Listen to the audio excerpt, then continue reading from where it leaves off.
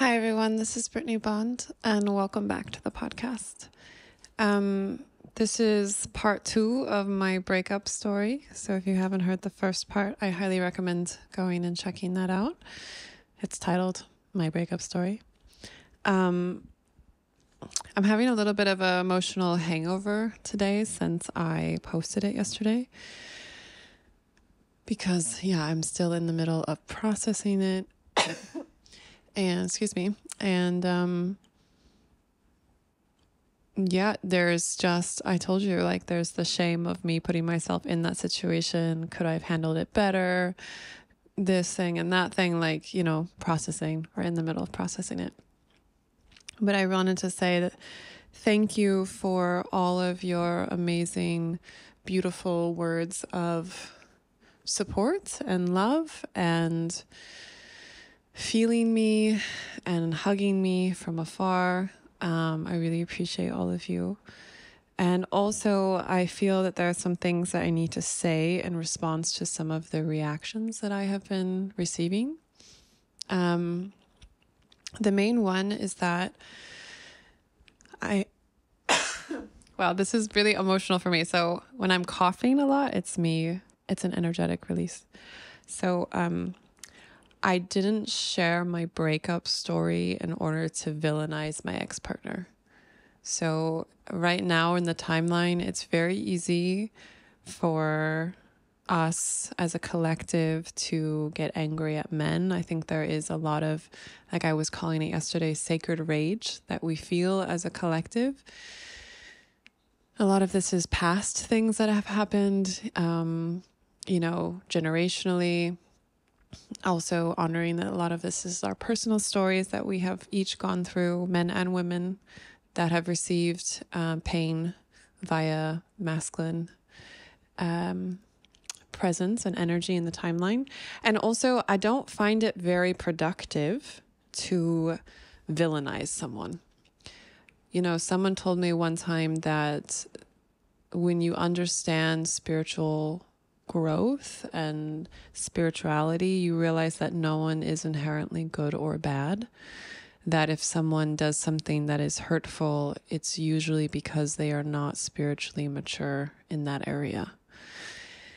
Because if you were, you would understand the real essence, essence of spirituality that we are all connected and if we were all connected, I wouldn't treat you in a way that's hurtful for you because I wouldn't treat myself in a way that is hurtful for me because I know that we are connected. Um, there's a lot of pseudo spirituality that is taking that from a disembodied perspective. And I feel like this is what I can sense from my ex partner is that a lot of his intentions. I would say are not malicious or even bad or hurtful. It's that um, he's not embodied on a human level, like in this plane of existence. You can be very spiritually awake and understand everything from a universal cognitive analytical perspective. But we are here having a human experience in human bodies. And when you are connected to the earth and in these human bodies, you need to be integrated. So, for me, on my personal opinion, half of spiritual enlightenment is being awake spiritually, yes, and understanding the structure of reality and who we are in the timeline and what's happening in the world on a spiritual collective level. And the other part is being able to integrate it into your body and have a lived experience with that knowledge where you're applying that in a way where you're actually making the world a better place through the way that you show up in the world. And a big part of that is how you treat other people and how you take in you know your actions and how it's going to affect other people and take responsibility for your impact in the world. And again each of us has to own our stories our triggers everything like this. But if you make an agreement with someone and you're creating a shared reality with someone, it is very important that you honor those agreements. And if you don't want to honor those agreements anymore, that you have a conscious communication where you change the agreement. Um, so for me, the reason why all of this was so painful and hurtful was not that my partner wanted to sleep with another woman. It was that if you're in an open relationship, the only thing that you have to build trust, the thing that creates the structure of the container is your agreements. And so when someone breaks that agreement, it emotionally feels like you just got cheated on because the person did. They they literally cut the agreement that you have agreed together in order to build the trust. Wow. Okay, so I went on a little rampage of I feel like I went on a little tangent there.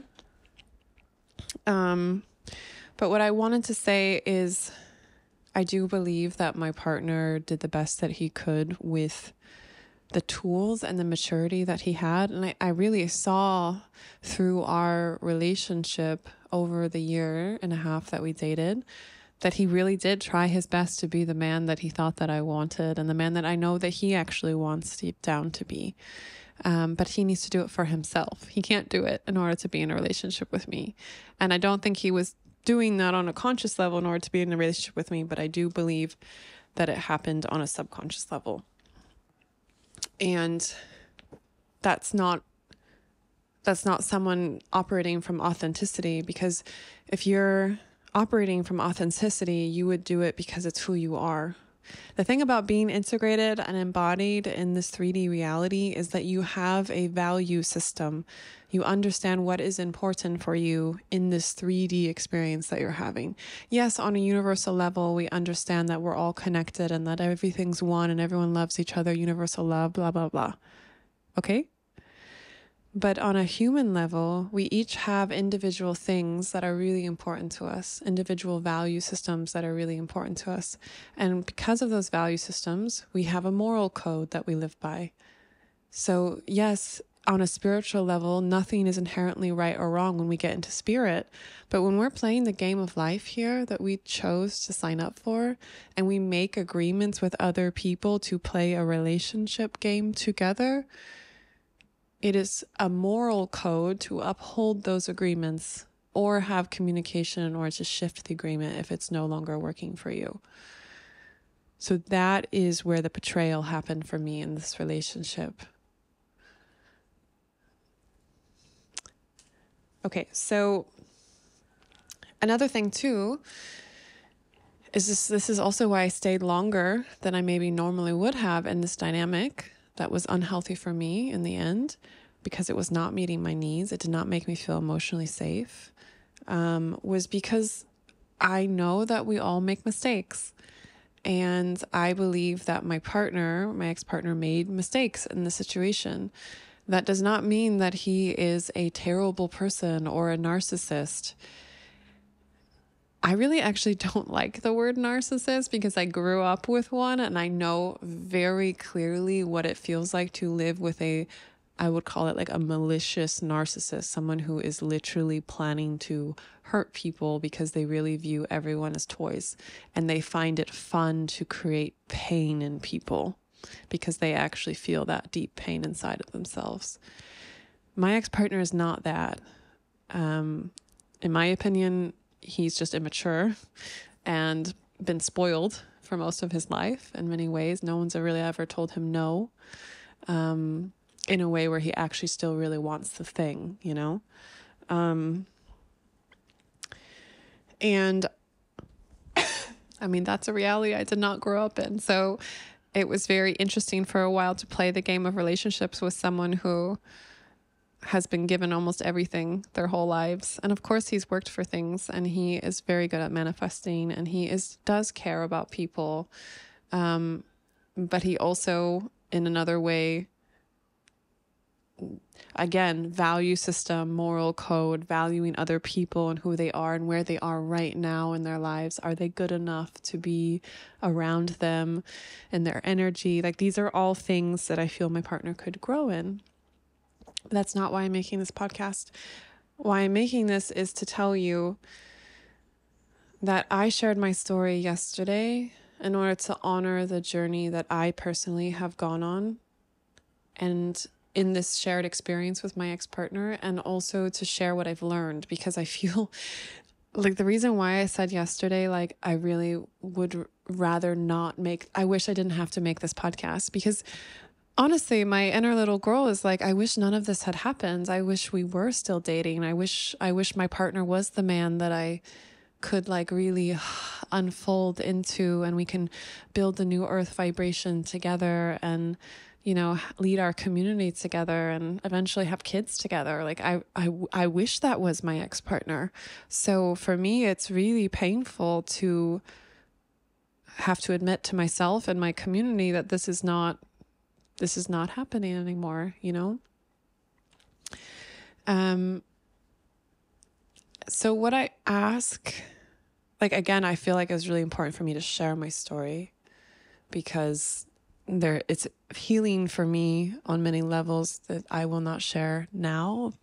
Um, but I also feel like it's healing for the collective of women stories being spoken um, in a way that is grounded and from authenticity and from vulnerability and from raw emotion because we have so much um, anger, feminine, feminine uh, sharing from a place of anger and frustration.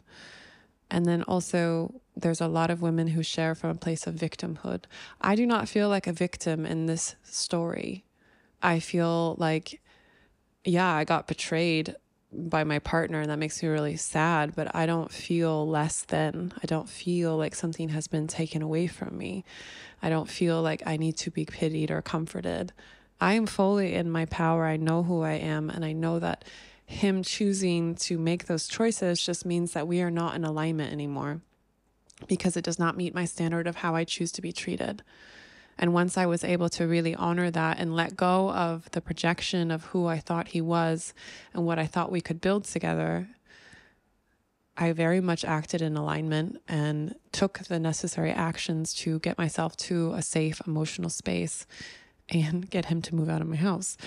Um, but what I ask all of you, instead of, I feel like it's such a waste of energy for us to villainize someone, especially someone who actually could be a very good leader for their community.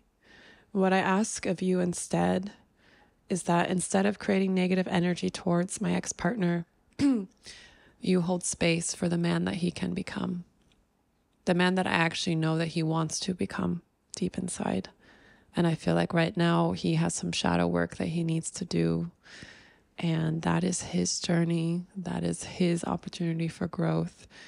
But if he's able to be supported in that and and also to be held accountable to grow into that man that you know what his mistakes are, you know where his shadow is now, so you have been warned. And also, I really believe that there is a great leader in there, in him somewhere if he's able to integrate his human experience, if he chooses to become embodied in the human body, I feel that he would be one of the greatest leaders for our new earth. And I am still holding that space for him, and I am still deeply angry at him. And I still love him deeply. it's all the things all at once. And this is why yesterday, when I started in the beginning, I told my told you I feel like I have been underwater and like there's just waves of emotions and waves of thoughts and projections and things and needs and everything just washing over me because I still love my ex partner deeply and I still hold space for the man I feel that he could become. And at the same time, that is not a shared journey anymore. And that's what makes me sad. I can no longer support him in his journey. He has to go do that on his own. So he has the opportunity now to go on his hero's journey and become the man that I know he wants to be. Or he can keep playing with young women and fucking around and being a man child. That's his opportunity for growth. But I ask you and I beseech you as my community, as his community, to hold the vibrational space and hold him accountable. because we all make mistakes and we all are trying to be better. And I hope that he is trying to be better. At this point in time, he still thinks that he has done nothing wrong. He still thinks, as of yesterday, after watching this podcast, still thinks that I am making things up and does not agree with my reality at all.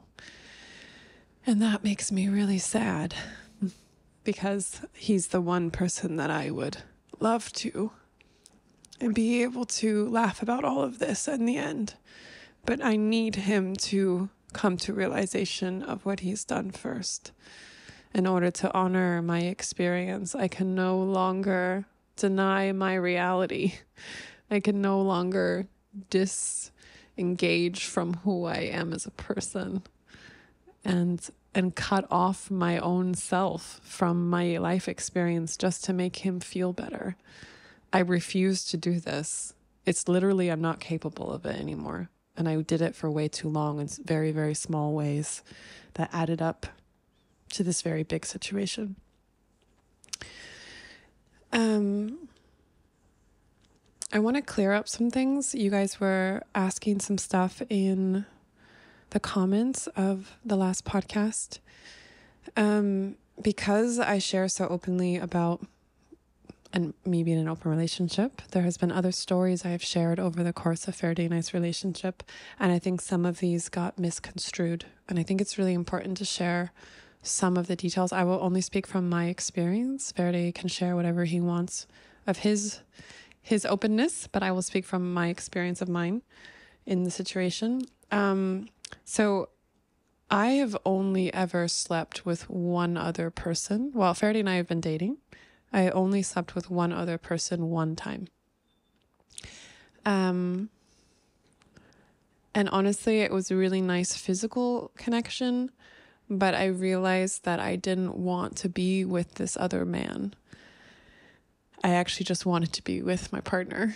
Um, and I, of course, I went on many dates. I like I like to flirt. I have Venus and Sagittarius, so I like the idea of being an individual still and having my freedom while in a relationship.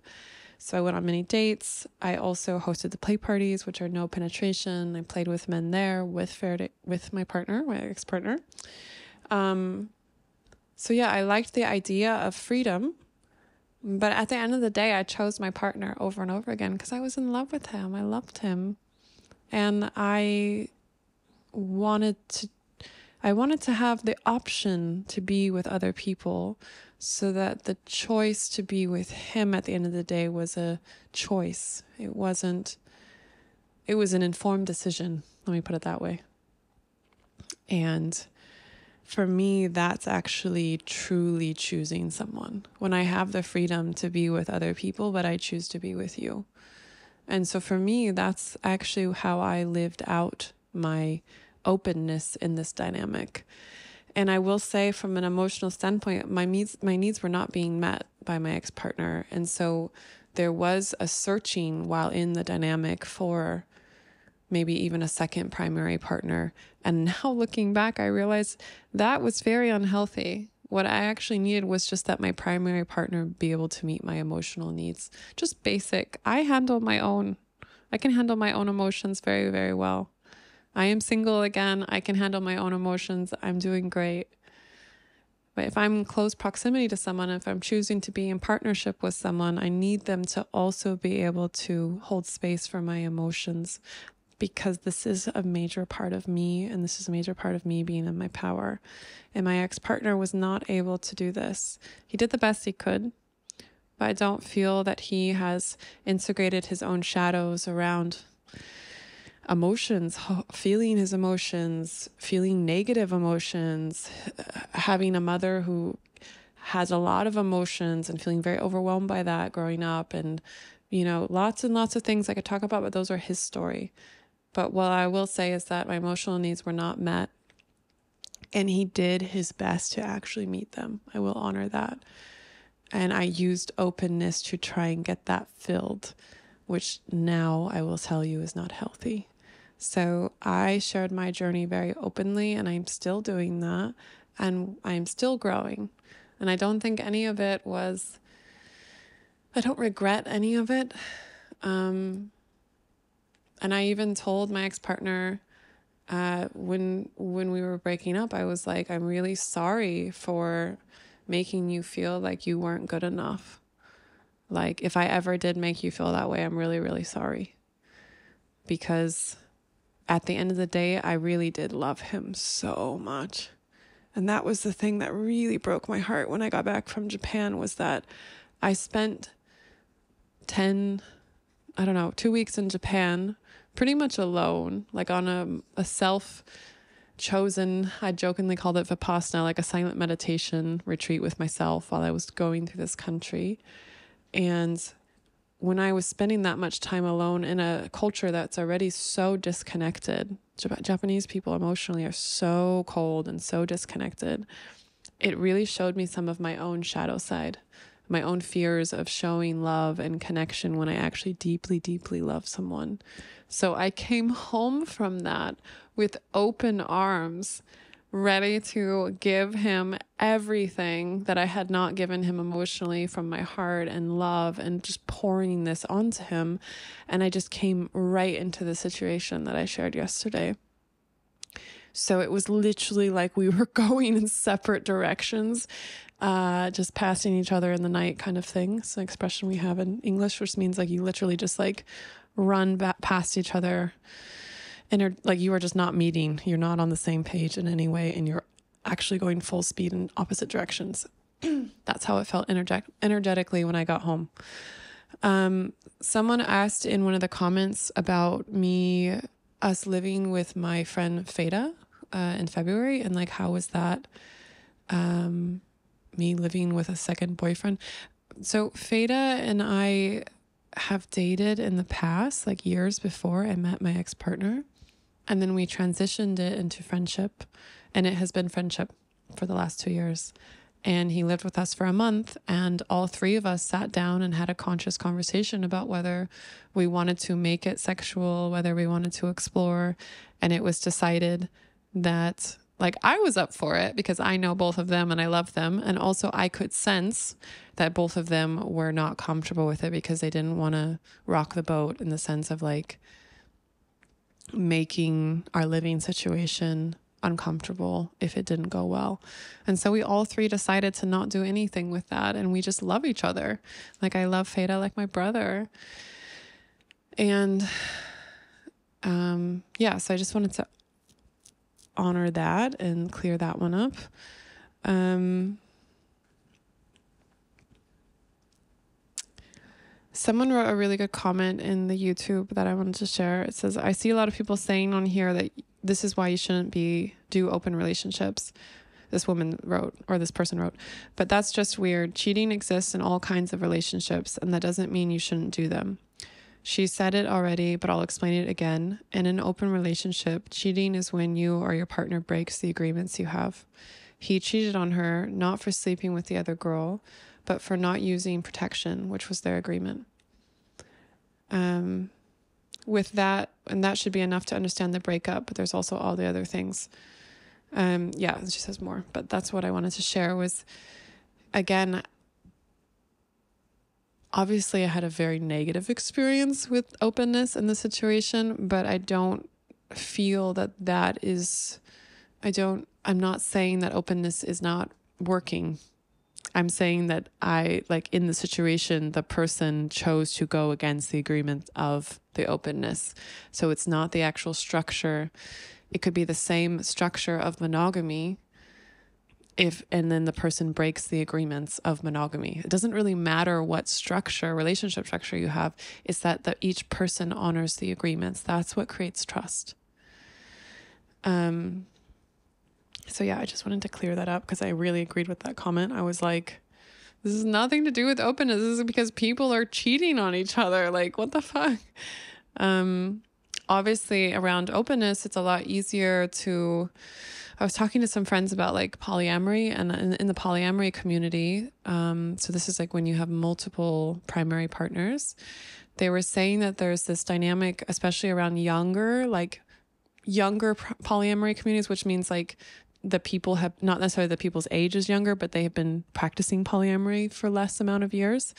Uh, so in these communities, a main um, challenge that they work through is that when up when two primary partners are having a disagreement, instead of leaning in and being on the same team and like working on it as the same team and like growing and making their bond stronger, one of them will run to another partner and just complain and like find solace and comfort in the, the extra partner instead of actually working. Like all of this stuff that comes up in relationships is opportunities for growth. It's opportunities opportunities for us to look at our shadow. And if we do and we integrate it and learn from the experience to become more powerful and more integrated and a better version of ourselves if we're in any situation running away from that and going and putting that energy into a new partner or another partner again, it doesn't matter if it's monog- like in monogamy, this is what happens when someone cheats on someone and then they like, you know, find a new young hot flame, young old whatever. They find a new new flame, a new love, a new passion, but it's just lust and it's something to like project that they are a good person onto instead of to look at their shadows. Um and I felt that that's what was happening in this situation like when I left for Japan, my ex partner and I had things that we were both looking at and wanting to to like work on within ourselves. And I went to Japan and like fucking worked on my shit. Like I looked at my shadow. I I, I had like called him. I had things written down. I did the therapy appointment. Like, or I did an astrology, Vedic astrology, which really showed me some of my shadow and I was like so excited to share this with my ex-partner and like share how much love I have for him and how much I was excited to like grow our partnership and I feel like he just took the situation and found a new partner. Just like put all of his energy into someone new. It was like, I'm in love with someone else now. So, yeah, whatever happens between us is like great. Like, he even told me when I got back from Japan, I think we're actually meant to be brother and sister vibes. I don't think we're actually meant to be in a romantic partnership. And I was like, what? You're going to tell me this after a year and a half? Um, there's so much more bullshit I could share about what happened when I got back from Japan, but I want to move on. I'm here to build a new earth. Like all of this is part of my story because it is helping me clear up my energy field in order to create space for the man who's actually meant to lead this new earth with me. And the man, the man, all of you have been messaging me saying very similar things that you know that there is a man out there who is a vibrational match and an emotional maturity match and who is an actual leader and grounded in this 3D reality, who will be excited to stand by my side. And I know this is true. I can feel him. I can feel him. He comes to me in my meditations, he's come to me in DMT trips. I can feel him. I know that he exists. And now I have vibrational space open. And I am actually very good on my own. I rock it when I'm single. I like have the best life ever. That's the thing is if someone comes into my life in the future, they better make my life a thousand million times better by just being in my life, like from an emotional standpoint, from whatever, whatever, because my life is amazing as it is, you know, like I have my community, I have my my friends, I have my godparents, I have my mission I have my dog and my cat and my beautiful house here. Like, I understand who I am in the timeline and what I'm meant to do. And for me, that is the biggest gift. And also to understand that I'm here to serve and I'm here to give back to you and to give back to the collective because that is what I'm here for. And to understand that so clearly and to be able to be in alignment with that, I feel like no matter what you do, in this life, if you understand and you feel vibrationally that you are in alignment and you are grounded in this 3D reality and connected to spirit, then everything is flowing. Everything is working out for you. Because that's like that is like the goal. It's not to have all the money in the world. It's not to have the perfect partner. It's not a it's for you to be in alignment with yourself and with your higher self and to allow your body to be this vessel so that energy can move through to serve the collective and whatever mission that your personal mission is for the world. That is beautiful. And I'm here for that. I'm here to help. I, I just did a bunch of human design readings again today, and I, I just love helping people come into alignment with themselves and to understand themselves. There's so many tools, there's so many permission slips that you can use in order to find this for yourself. And I wish this for each of you, whatever is your highest excitement to allow yourself to come into alignment. Um,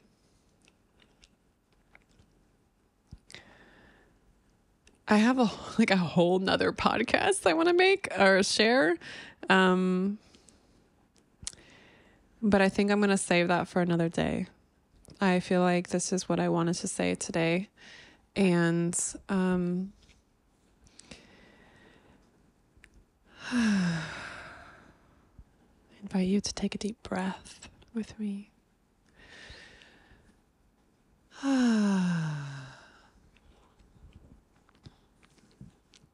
Something that a lot of you have said when you listen to my podcast is that you can feel the authenticity in it. You can feel the truth in it. I have nothing to hide. I have nothing to gain from sharing this with you except for for me to listen to this and to know that I spoke for up for myself. When I first listened to my podcast yesterday, I like actually put it on Spotify and released it first and listened to it at the gym. And I was crying at the gym yesterday because I was like, if no one else listens to this, even if this is just for me, I feel that I have accomplished what I needed to, which was to speak up for myself. And that made me feel in such alignment that I just, the whole rest of the day, I felt so much energy coming through my body. Um, and now that I am single again, and now that I am in full capacity and full direction of where my life is going, there's literally so many opportunities coming my way right now that um, I'm going to take the next week and go what I call into hermit mode, like monk mode, and just make podcasts, go to the gym, take to the beach, and have nothing on my schedule. Like, no, I've been so social lately and in a beautiful way. I've also really needed it, the community support. And at the same time, I feel, yeah, part of my processing is to go inward and to really do this soul searching of what comes next because there's some very big opportunities coming my way right now and I oh, I'm so excited to figure out which one is my highest excitement, which one to do first. Um, so I'll share more about that as it unfolds. Um, yeah, I have a whole nother podcast that I have written down this morning for you, but I will share that in the next one. Just know that I am sending all of you so much love. And thank you again for all your supports. And again, what I said at the beginning, please, not only for my ex partner, but for any man that has hurt you in your life, I really invite you to one, honor your boundaries and get yourself into a safe situation and like get yourself away from them if it is not feeling energetically, emotionally, physically, whatever safe. If it's not feeling safe in any way, get out of there. And also, the higher timeline, the higher perspective is to understand that everyone is going to get it in the end, whether it's this lifetime or the next, whether it's many lifetimes from now, whatever. Everyone's on their spiritual path. And the only reason why people do things that hurt other people is because they're not spiritually developed to understand the effect that they have and the fact that we are all connected and how to play that game in this 3D reality in an embodied way. So they say hurt people hurt people. Um, so if you've been hurt by someone like my father, I know that my father was very abused by his father. And who knows, maybe it kept going all the generations back. Does that excuse his abuse to me? No. Does that make me understand it? Yes. Do I hold vibrational space that my dad could be a better man? I'm working on that. the thing is with my dad is like I haven't spoken to him in probably oof maybe 12 years now. I went to his wedding. That's the last time I saw him. He got remarried. And it's not that I don't want to speak to him. I send him voice messages. I call him and leave voice messages every couple of years and let him know that I'm doing okay and that I love him and I love him unconditionally and to thank him for showing up for me in the ways that he did growing up. Um, And I hold that, yeah, I, I do hold that vibrational space open. I've actually been told by friends that I hold too much vibrational, vibrational space open for my parents to get it, to show up as actual parents in this timeline. But you know, for me, I'm not, I was maybe the reason why they said this in the past because I was wasting energy on it in the past where I was, you know, like literally in my dreams, I was doing energy work trying to help my mom get out of the religion and get out of the mental control that she was she is currently under and she's choosing. But that's not my that's not my job. That's her timeline. That's what she needs to do. And even if i did do it it wouldn't work because she needs that's her soul growth right um but i feel that we can all hold vibrational space for whomever has hurt us to um become a better version of themselves and that's not for them, that's for us to just like forgive them and move on. Because the more that we try and fix them, the more that we blame them, the more we send negative energy, that's us wasting our energy when we could be creating beautiful things in the world and expanding. Whatever you focus on expands. So if you're focusing on negativity, if you're focusing on trauma so much, you're going to keep expanding it. This is not a positive thing. We want to work through it. We want to look at it. We want to face it. We want to embody it. We want to let it go. That's the goal. Learn from it, let it go through you, honor it in whatever way you need, and let it go. And there's so many beautiful things to to embrace and to receive and to enjoy and to let through us. That's what we should be focusing on now. I'm going to leave you with that. I love you all very much, and I hope you have a beautiful day.